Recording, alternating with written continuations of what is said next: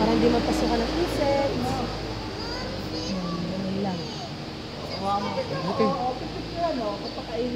Mukha po siyang camel na leopard. Camellias Ito, ito, leopardus. Takam na takam na siya. Yan. Yan, laki din yung tip niya. Mabilis din po yan tumakbo. 60 kilometers din per hour. Kaya lang